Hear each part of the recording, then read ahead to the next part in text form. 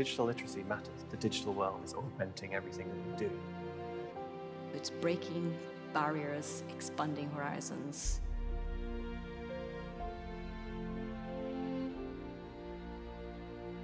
We're always driving at the forefront of technology. We believe with technology that everyone can do better.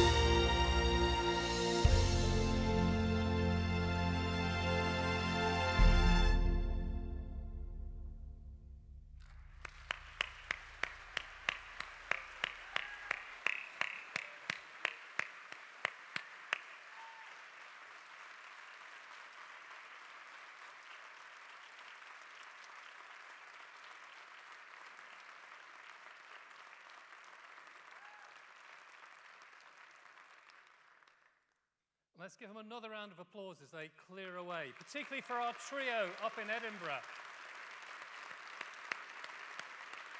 who are frozen. So, when I started, I'm Paul Feldman, I'm the chief exec of JISC, and when I started a couple of years ago, we never believed that we'd be able to get humanity into digital uh, into the way we are now. Uh, and it's really, oh, it's uh, gave me goosebumps the first time I saw that. Um, and I just think so. Anyway, thank you to our students from the Royal College of Music, and our trio from Edinburgh were from Edinburgh Napier University, and of course our composer and conductor, Eduardo Andrade. What a tremendous performance, I'm sure uh, you'll all agree.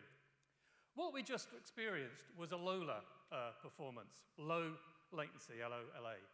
This means that for musicians in Edinburgh, it was as close to being in the same space as the musicians here in Birmingham and vice versa, as is possible today. And this is only possible with networks as powerful as Janet, which is one of the few, if not the only, public network in the UK capable of doing this. Now, while it's a great showcase of our students' prowess and our capability, this capability allows real teaching opportunities that I'll come back to.